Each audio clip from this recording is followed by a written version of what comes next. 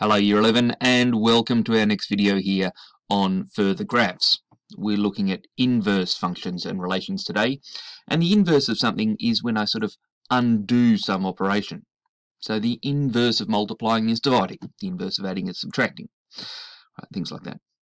Now algebraically we can find an inverse function quite simply by swapping the x's and y's over. right? Uh, we might rearrange that so we make y the subject again uh, but that will produce the inverse function. Graphically, we can also find the inverse function by reflecting the graph of our original function in the line y equals x. Now, some important points to remember or to know. The domain of the inverse uh, is the range of the original function, and the range of the inverse is the domain of the original. Okay, so they swap over as well. And that can be helpful when we're sketching these, as we'll see in this first example. Now this looks a lot like, I suppose, the cos of x, uh, if we're measuring it in radians.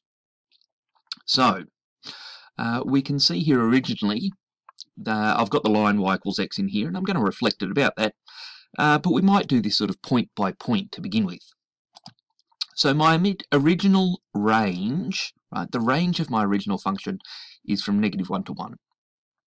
And that's going to be, uh, so if y equals negative 1 to y equals 1 is the range of my original function, then the domain of my inverse is going to be from x equals negative 1 to y equals 1. So you can see we've just sort of uh, flipped that around there. So my graph is going to fit within that red band. The first point we should probably look at is where the two intersect. Now, uh, we could say that's the solution of these two graphs, where my green function intersects this line, y equals x. That's where this function is equal to x. Okay. And so, where they intersect, uh, that point's not going to move. Uh, next up, let's have a look at this point here, uh, which has the coordinates 0, 1. Swapping those around, I get the coordinates 1, 0. Okay, so that point is going to map over to here. Uh, let's choose another point. Uh, this point here is going to map over here. And this one over to here, right? That's from, uh, let's call that negative pi, I think. Uh, negative pi, negative 1 is going to go to negative 1, negative pi. So I've got a few of those points here. We're going to do the same with points on this side uh, over here. Right, so we'll map that up that way. Remember, they're being reflected about the line y equals x. Rightio. So we're going to run perpendicular to that line y equals x, right? And we're going to uh, repeat that distance from our point to the line and then the line to the point.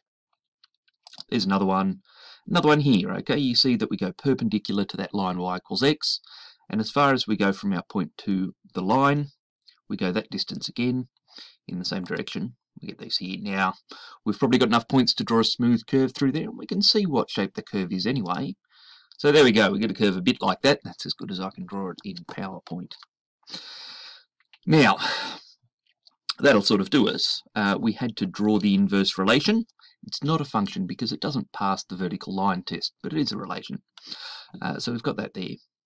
Another way we could produce this is by uh, rotating and flipping, if you like. So consider this little bit here. Now that was my positive x-axis, that was my positive y-axis. Now my positive x-axis is pointing straight up, that's what I want. The positive y-axis isn't, and I can see that because uh, this isn't the line y equals x. So I flip that over, right, and you can see now that they match up. This is the positive, this was the positive x-axis, this was the positive y-axis. Okay. So we've rotated it 90 degrees anti-clockwise and then uh, flipped it left to right. Here's another one. It's a bit simpler, I suppose. We've got a straight line this time. And again, we've got an intersection here. So uh, this line here, which looks like it is y equals 2x minus 2, uh, the solution of that with y equals x, there is exactly 1, and it's at 2, 2. Uh, and so that point there, 2, 2, isn't going to move when I take the inverse. This point here at 0, negative 2 is going to map to negative 2, 0. this point here, 1, 0, is going to map to 0, 1. As I said, this point here doesn't move at all. Three points is more than enough for a straight line. Here they are, and I run a line through there. And just a reminder, I could rotate it and flip it, and there we get the same thing again. Okay, that was the positive x, and that was the positive y. Right, that's what we're doing with the inverse. We swap the x and y over.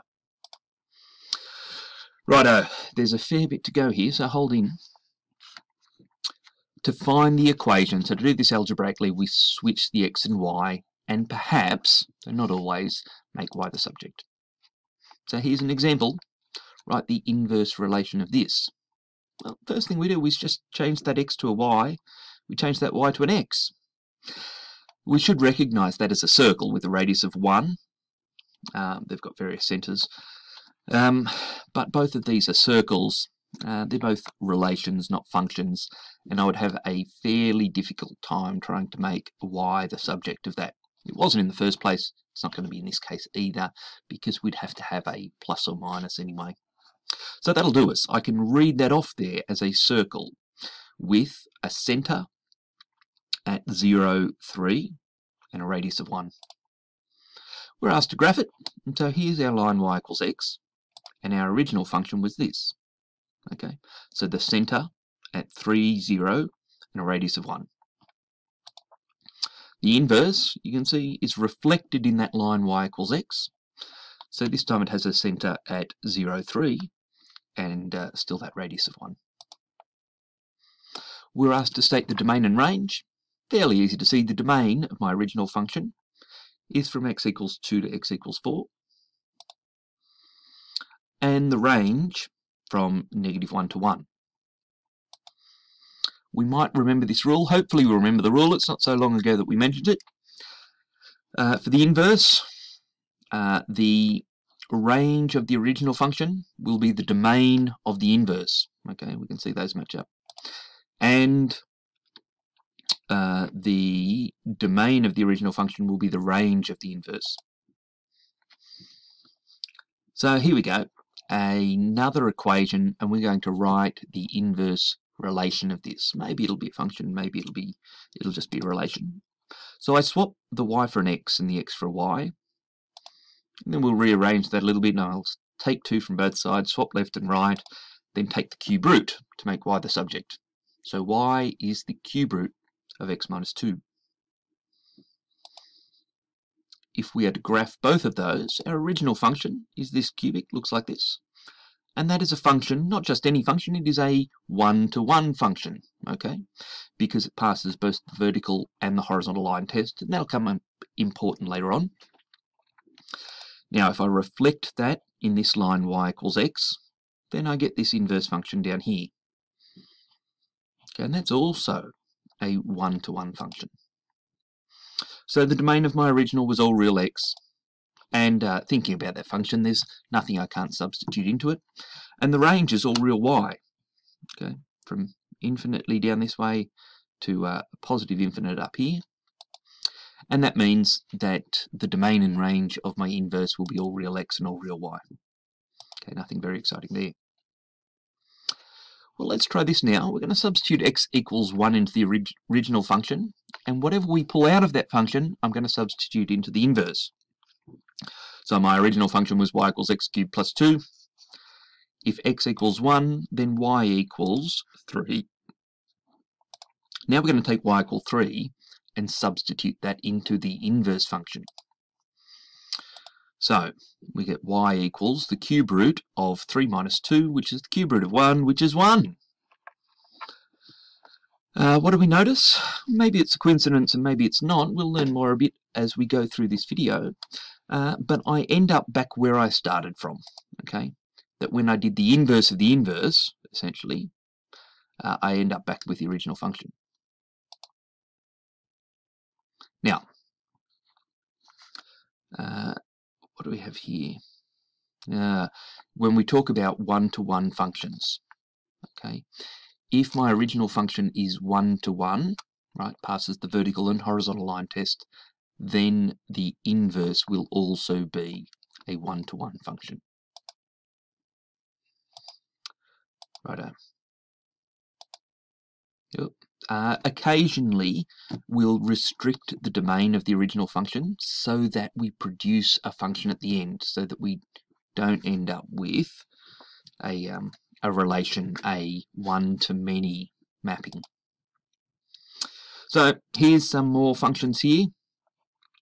Um, the inverse of this function, right? We swap the x's and the y's, rearrange that, and I end up with y equals one third x plus a third. Okay, if we have a look, well, we should recognize that they are straight lines, uh, straight oblique lines, neither vertical nor horizontal, and so they both pass the vertical and horizontal line tests. Uh, so the inverse is a function. This one here we should recognize as a hyperbola. Now swap the x's and the y's. Now I'm going to multiply both sides by y minus 1 and divide both sides by x. Gives me this expression. Means that my inverse function is y equals 3 over x plus 1. Just watch out when you go from here to here. I don't put the three little uh, therefore dots because these are significantly different. Okay, I have used that original function to come up with this expression here, but they're not in any way the same. This is the inverse. So looking at these two, uh, they even look fairly similar there, although they, they do have important differences, the location of those asymptotes. And so both the original and the inverse, while not continuous, are functions, right? Uh, in fact, one-to-one -one functions. So that inverse is a function as well, whether we look at the graph or not. Now finally, y equals x squared minus 4. We know this is a parabola concave up. And that doesn't pass the horizontal line test. That is a many to one mapping. But uh, let's uh, work through this a little bit. So the inverse, swap the x and the y. We end up with y squared equals x plus 4, which I might express as y equals plus or minus the square root of x plus 4. Yeah, that's a, a fair indication that this isn't a function anymore. So there's the original. There's the inverse. You can see that has been reflected about that line y equals x. Uh, and that clearly is not a function here, right? Because it fails the vertical line test. Rightio, so not a function. A bit more. Inverse function notation, we use function to the negative 1 of x. Okay, um, That's different to the function of x raised to the power of negative 1. Uh, this is our way of saying inverse function. It doesn't mean the reciprocal, right? It's just some notation that we use for inverse. Now, if I have a one-to-one -one function, then the inverse of the function will be equal to x, and the function of the inverse will also be equal to x. Righto. Here is a function. We're going to find its inverse. I'm going to uh, slot a y in there because it makes it a bit easier to do our algebra. So I'm going to say x equals y cubed minus 1. Uh, rearranging that, I find that y equals the cube root of x plus 1. Now, if, uh, so if I substitute x into this, of course I get the cube root of x plus 1. And then if I do the function of, uh, so if I do the inverse of the function, right, remembering my function is x cubed minus 1, the inverse is the cube root of x plus 1, so the inverse of the function is the cube root of, instead of x, I say x cubed minus 1. Right, this is the function. x cubed minus 1 plus 1, expand that out, I get x cubed minus 1 plus 1 is just the cube root of x cubed, which is of course x. Let's try again doing the function of the inverse. So the function says to take x, cube it, and subtract 1. And for x, we're going to substitute the inverse, which is the cube root of x plus 1. I'm going to put that in there. I'm going to cube it, take 1 away. Uh, the cube of the cube root just gives me x plus 1. And then take 1 away, I end up with x. How neat and tidy. Here's another one. Here's our function. Here's the inverse, y equals 3 minus half x. Now, that makes that my inverse function if I do the inverse function if I find the inverse function of my function, right, I want to do 3 minus half of the original function, 6 minus 2x.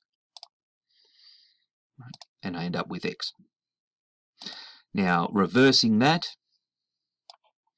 uh, my, I want to do the function, in which case I do 6 minus twice x, right? but instead of just leaving x in there, I'm going to put the inverse function in there, which was 3 minus half x. So it's 6 minus 2 lots of 3 minus half x. Right, and I get 6 minus 6 plus x is, of course, x again. Rightio, so we've just verified that. That's not something you're generally going to have to do in an exam or anything. Uh, it's just to confirm uh, that that result is at least sometimes true. Okay. I can, if I apply the inverse to my function, then I, I get back to where I started from. If I apply the function to the inverse, again, I get back to where I started from. Right, that's the end. And there's a lot to do there. Um, I hope you take it all in. I hope it all makes sense. Uh, if you've got any questions, please let me know. I'll see you in class.